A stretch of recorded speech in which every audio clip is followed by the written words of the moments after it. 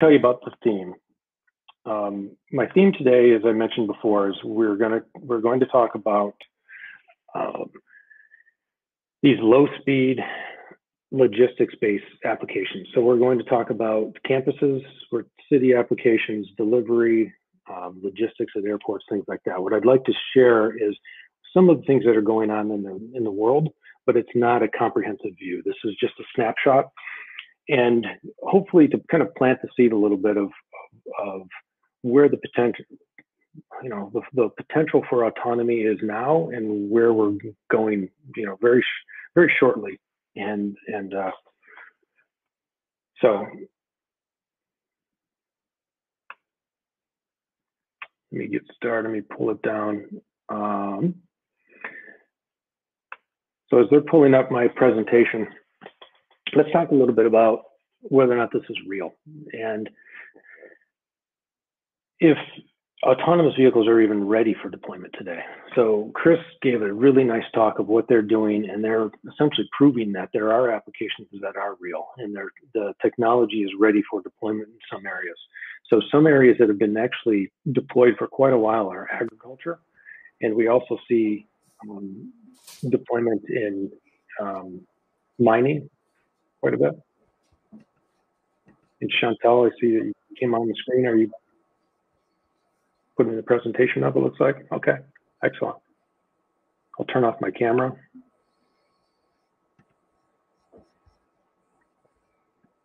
And we can jump right down to slide 10, if that's okay, Chantal. So apologize. Sorry about that, everybody. That's the value of practice, right? I didn't I didn't practice popping up my uh, PowerPoint presentation and got blocked. So, so these slides that we're skipping past are just some of the some of the projects that I've worked on in the past. But that's not as interesting as what we really want to talk about is the logistics applications. Some of those that are kind of circled in this this collage is you know we see a UAV delivering packages and a couple small delivery robots. So we can go to the next slide, please.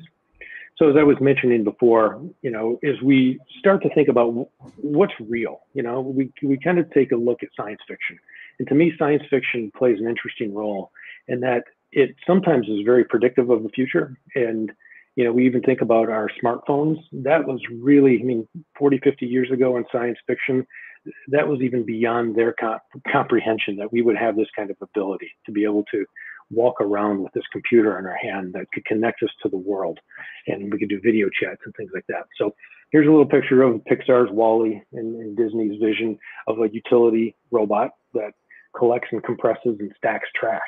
It's a, I think it's a legitimate um, application. Hopefully the world won't look like that at any time, but um, it, it's an interesting application. And we can go to the next slide. And then here's just a kind of a broader view of, again, from the same movie, WALL-E, but these are all just little utility robots. They clean, they paint, they deliver, and they maintain. Um, and then my question, is this science fiction or is it prediction? We can go to the next one. So these low-speed logistics and delivery autonomous vehicles are they our next, the next generation of robotic heroes, saving time, money, and even lives. And uh, let you be the judge. But I think you know my my thought on it. And go to the next slide, please. And thank you so much, Chantal, for driving. That's super nice of you.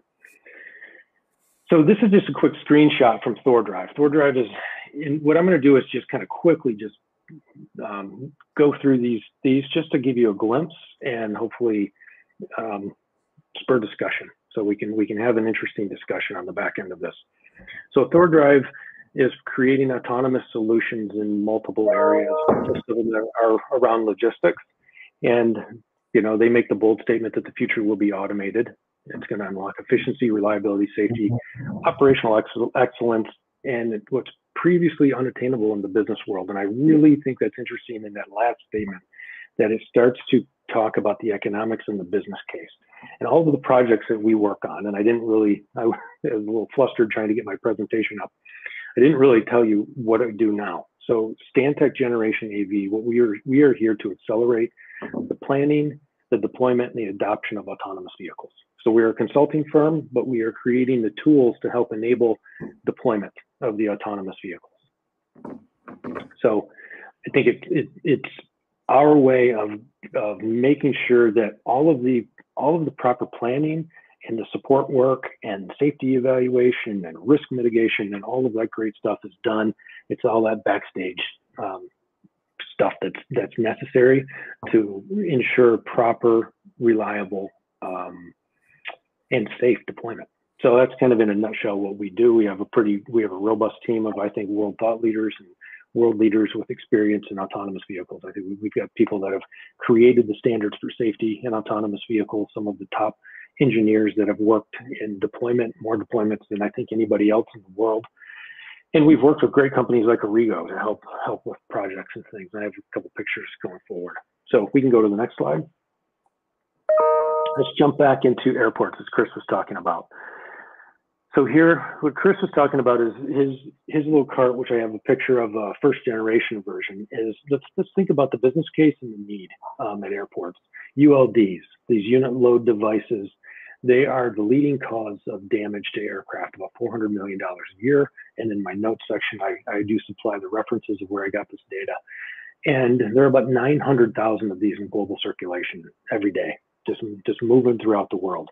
And th there's an opportunity there for efficiency and safety, as again, Chris talked about. So we can go to the next slide.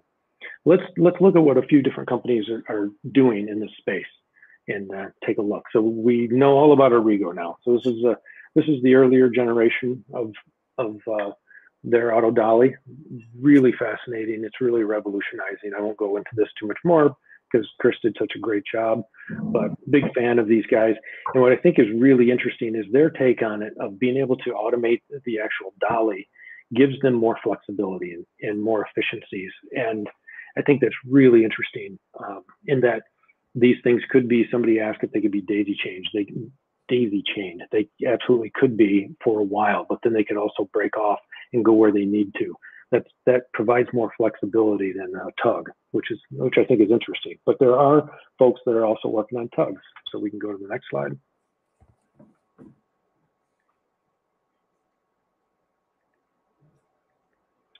And here's Thor Drive again, who provided that quote for us at the beginning. They did a pilot last year with Cincinnati, Northern Kentucky Airport. But you see, here's just another version of um, autonomous company working on airside equipment. So, um, you know, used for luggage or ULD transport. We can go to the next one. And I'm gonna start kind of moving through these pretty fast. Um, TLD and EasyMile it's teamed up to also, also to automate a tug. There's, um, again, same airport applications, but it starts to see, and this again is not a comprehensive view. This is just a snapshot of a few companies. So we can go to the next one. And, and then you start to think about what else could we do with these tugs? And here's an industrial campus that, um, again, that, that EasyMile with their TractEasy product is working with a manufacturing company. And we, we also start to think about the business case and they claim that on average about you know 18 months to two years you can see a return on investment for this product and if, if you think about that even in these early stages of development and the technology that you can get roi that fast? Because these are only going to come down in prices. The sensors become less expensive and we start to see more economies of scale. So pretty impressive that we can we can see an roi in 24 months in the current technology. We can go to the next one. Another uh, product that could be that is being used actually at airports. This isn't automated, but it gives us a glimpse of it, that it could be automated soon. So this is an electric remote controlled uh, pushback device. It's saving a lot of um, time and energy and fuel. And we see the little quote that that 54% uh, reduction in delays at Heathrow Airport, which is really a major cost savings and, and uh, economic opportunity when you see those types of um, savings in time and turnaround of the aircraft. But think about those will be automated one of these days. And the next next slide, please. And please, you know, jump in with questions. I'm gonna I'm gonna save some time at the end um, to answer questions. So I'd love to love to chat with everybody. But here's another product. This is more aircraft, an aircraft tug. It's a taxi bot. Um, it could be remote controlled from the cockpit, or it could also uh, be automated at some point. But this is again huge cost savings on moving the aircraft from the gate to the runway, so you don't have to burn fuel. Um, you you can essentially, you know, you're essentially just burning this electricity in this in this tug. But they're also finding that there's tremendous um, you know, there's advantages in turnaround time. This this can move the aircraft faster and in a more agile way, which again, that's really more of an advantage for the airlines is turnaround time. We'll go to the next one. Now, to shift gears a little bit, we're going to leave the airport and we're going to start to talk about more consumer-based um, products that are, you know, we're talking about delivery players. So this will be in the slide. I won't go through all of them. You know, it's kind of an eye chart anyway, but I want to thank my friend um, Damien DeClercq from Spring. He's the CEO and founder of the company Spring, and uh, based out of Berlin, and he is he has autonomous delivery robots, and uh, we'll show a picture of that in just a second. But this is a nice, really nice chart that he put together that kind of shows a snapshot right now of most of the the players out there in um, autonomous delivery. So we can go to the next one and this is the, the Spring um, vehicle. It's actually created by a Chinese company, Neolix, and Damien is deploying these throughout Europe, as I mentioned, based in Berlin. We can go to the next slide to give you a sense of what these vehicles can do. Is this is one of the deployments in China that was this was shown um, just a few months ago. Is that uh, with a partnership with Kentucky Fried Chicken? Is that these little delivery robots kind of created um, you know, opportunity for you know less human touch. This was kind of a COVID solution last year, but really interesting. But it's essentially the, the same automated delivery vehicles as as Spring is using in Europe, but shows an interesting use case. We go to the next. And well, I thought this was really interesting. If you think about Neolix, is just where they're going and how fast they're getting there. They are already in mass production with us. So a lot of people don't realize that there are hundreds, if not thousands, of these vehicles already made, and there's all types of different configurations. You can go to the next. And this is just a little snapshot of their gigafactory where they make these. So they are rolling off the line. We can go to the next. I know I'm working you over, Chantal. Of just I keep saying next, next, next. So well, let's come back to the U.S. That's what's going to happen in the U.S. and in North America. Um, we one of the companies that's kind of gotten some good press and they've raised a lot of money is Nuro. So Nuro is doing deliveries uh, primarily in, in California, in the in the Silicon Valley, San Francisco Bay Area, but uh, really great company. You can operate in mixed traffic on streets, but uh, great company. And they have, a, if we're talking about the opportunities and if this is a real thing, um, these guys were valued at about $5 billion um, at the end of last year after this $500 million round was closed. So pretty impressive. We can go to the next. And then we've got the little guys. When I say little guys, not necessarily little companies, but little robots, like Starship. Starship is probably the the has the most robots out there, and they've also hit um, a million autonomous deliveries. So really impressive company, and they're really growing fast. We can go to the next slide. and It shows a little bit more of a version of where where they are with their delivery process. So very interesting. Um, I, I think you know, there's so much to look at in this thing. You know, they hit their 1 million at the beginning of this year, but showing what the popular products are for delivery, that's really interesting data. But then also showing the savings in CO2 emissions, very important. And um, great company on its way for massive growth. But it also shows us that we're ready for this. You know, there's the people and the consumers, they, you know, they like delivery by robot. I, am really excited to have it in my area. So we can go to the next. And another small robot company is KiwiBot. They've they've been out deploying. They're a pretty rapid deployment option as well. Great little company. Um, they're also showing a, a reduction in cost, and they have they're on a mission to really lower the cost of delivery. You know, right now they they claim it's around five to ten dollars per delivery, and their mission mission is to get the cost of delivery under a dollar. So can't beat that. So that's just another advantage of when robots are to scale, we will see you know efficiency savings, and we'll see um, definitely um, improved safety, but we're all going to see improve, also going to see improved economics. And I think that's just an important point to keep reinforcing. That's our that's one of our major goals. And go to the next slide. We're going to keep talking delivery. Got an interesting little company out of Michigan, Pedestrian, that works both indoors and outdoors. I think their their first deployments are in hospitals, doing um, all kinds of different deliveries within the hospital. I believe that pharmaceuticals, supplies, even food. But we can go to the next slide. And what's kind of interesting about these, and you can click again, I think there's a little bit of mini animation in here is their prediction of that there's going to be 300 over 300,000 robots in the next five years, um, helper logistics robots. That's pretty interesting. I thought that was really interesting. I appreciated that that vision from them. We can go to the next slide. And I just wanted to, and you can click one more time. And wanted just to bring up this pedestrian is pretty interesting, and then they have kind of a two um, two formats. Is they, they have that little autonomous vehicle in the front there. That's the real autonomy robot, and the thing behind it is essentially a trailer.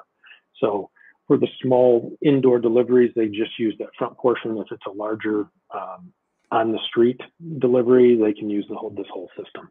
So I think it's pretty interesting. And then they also talk about the cost savings, 25 to 35 percent, um, eighty-five thousand dollars per per robot in just savings. And they predict um, you know 10 to 20 robots per hospital. That shows the mar the market size, which is pretty massive. Okay, we can go to the next.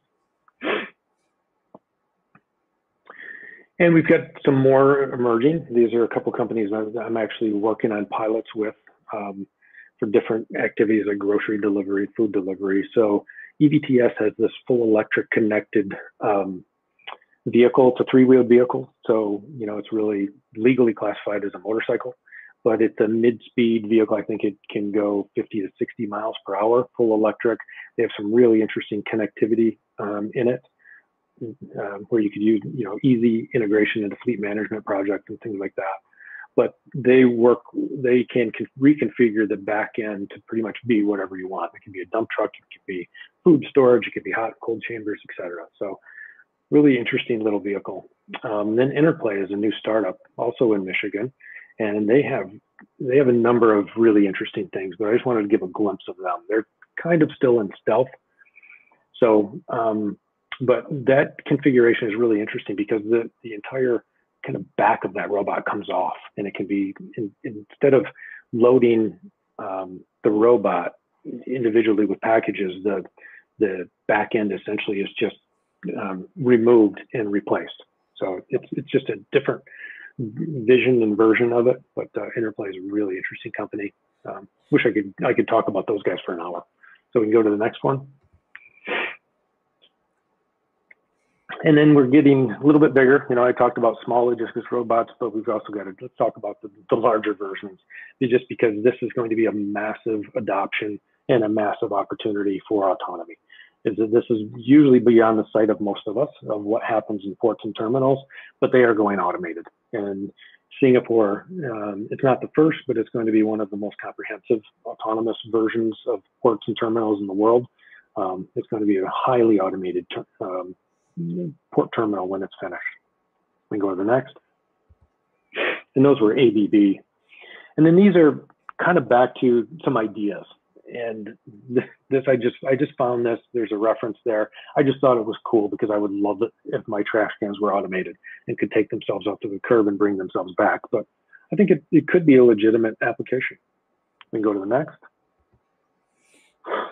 And this is another just a vision, concept only. Don't imply any affiliation with any companies. It's just an it was an idea. Is that just the different ways we could use autonomous platform. The one on the right there is by Pratt and Miller. That's actually not a concept vehicle. That's actually a real vehicle used for the military in multiple ways, both for logistics, but also for um, targeting exercises. But they can take that that robotic platform and turn it into many, many things. So that was just kind of a vision. Could it be a, a themed vending machine was the concept there. So it's not real. It's just a cool idea. We can go to the next.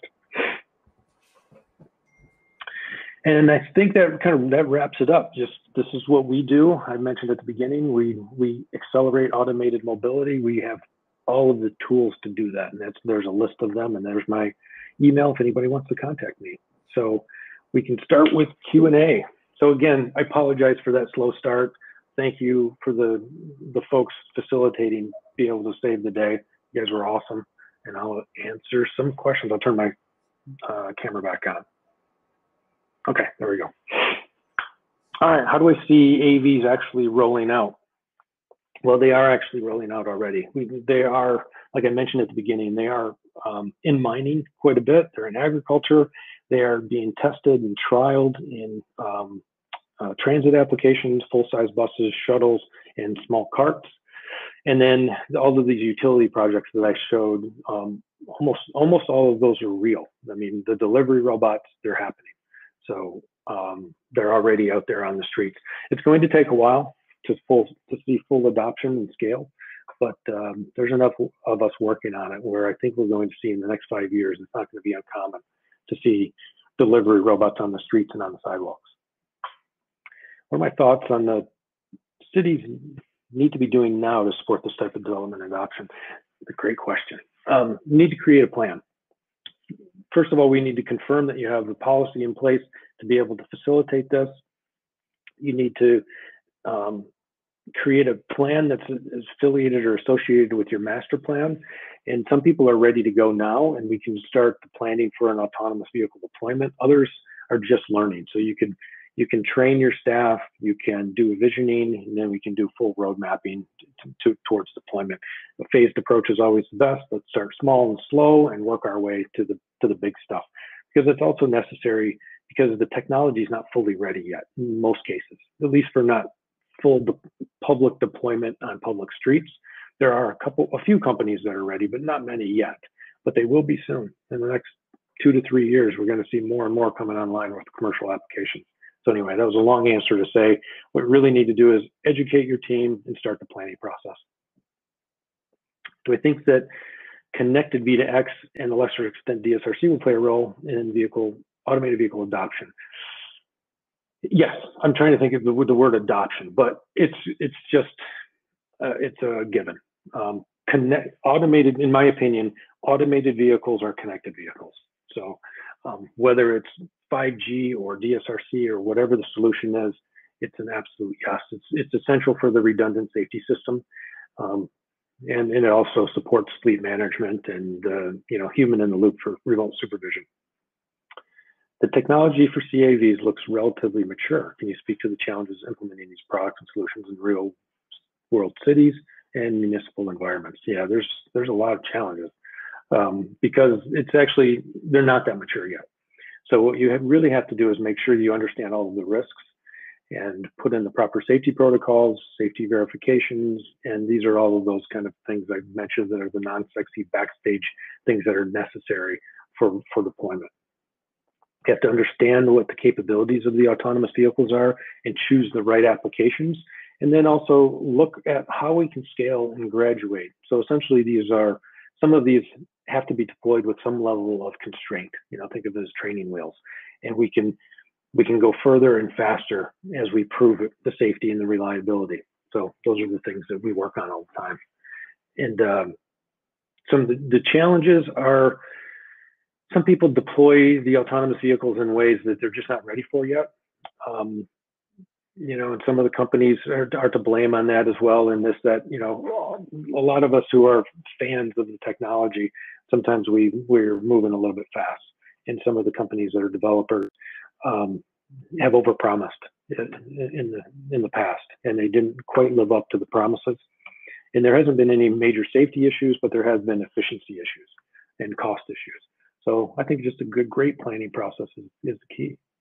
You mentioned one that Pratt and Miller vehicles being used by the military. How much of a role do you uh, vision, plane, and military applications. Oh, the military is one of the biggest users.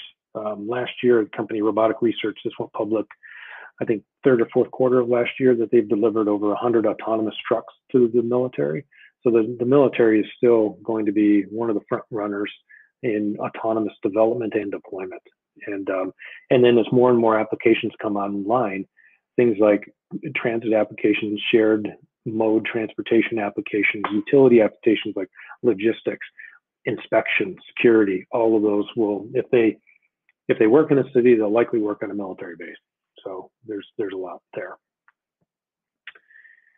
Given the very small payload, do you think sidewalk delivery robots like Starships will actually make a difference, or is it more of a no novelty and a gimmick for now? Good question. Great question. Um, I'm not sure if I really know. I, I, think that I think all of these kind of um, purpose-built vehicles and autonomous vehicles have a place, and we will find out, you know, based on just market demand, um, what's going to make sense where. So I think they're going to have a place. We'll just see where and and how you know, and uh, you know maybe those are going to be perfect for college campuses, and that's essentially where they stay. They're college campuses and urban centers, and maybe that's it. But that's okay. You know, there's plenty of those out there. But but interesting, good good question. Okay, interoperability for these amazing AV technologies offered by different companies. Um, another great question. You know, we need interoperability from the connected vehicle side for sure. Um, we need to be able to share data. Um, you know, in this new connected environment, when we have different suppliers operating different fleets around the world, they still these fleets and the humans controlling the fleets need to be able to communicate effectively. So I think that's that's really important, and that's the key that we need to make sure that we're we're working towards that. And I've never seen any pushback. There's never been anybody saying no, I don't. Uh, I'm I'm opposed to that. So I, I, think that's where we're going anyway. It's it's a very collaborative um, environment when we're talking about scaling deployment. All right, some experts believe deep learning AI will never be able to reach level five autonomy, which is not possible in the real world. Can you please comment on level five? Um, that's a great question.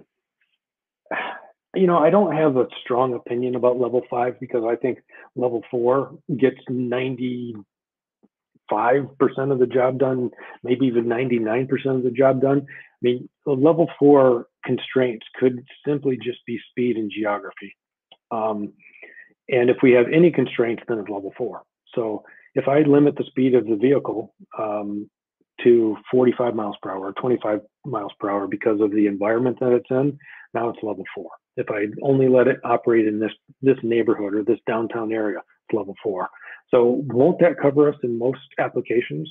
You know, um, full level five, I want to go from my house in Michigan or Florida and and I want to go to California and just sit back and take naps, you know, that being fully level five. I think that's going to be possible, but is it again, is it going to be considered level four or level five? So I probably didn't give you a great answer, but uh, it, it, um, it's kind of how I feel about it. I think level four is going to cover us most of the time, almost all the time. We covered various AV use cases applications. What's a common and how mature is regulatory framework in the US and Canada? Great question. And I think how mature is it? Um, I mean, it, we're kind of in our infancy still in every sense in the deployment of this technology, the development of the technology, and part of that deployment is regulatory. So we're still very new and young, um, there's a lot of work to be done. How I would rate the maturity, I'm not really sure. I'm not an expert. What I love is that on our team, we have one of the leading experts in North America, and I lean on him to, to help us with those conversations and that work. So um, I'm a business guy and a tech guy, and our regulatory team are they're amazing and they keep me informed, but they're really the experts. what in my view will be the impact of 5G on the deployment and which use cases where does that matter the most? Um, it's going to have pretty big impact. And one, being able to be in a connected environment is critical for safety and and just efficient operations. But also 5G is going to enable more data transfer. And the more data that we can use and transfer and evaluate, analyze, the better it's going to be. So it's going to be, I think it's going to be a pretty high impact. More data, the better, right? And you know, more efficient and safer. All right, I appreciate it so much.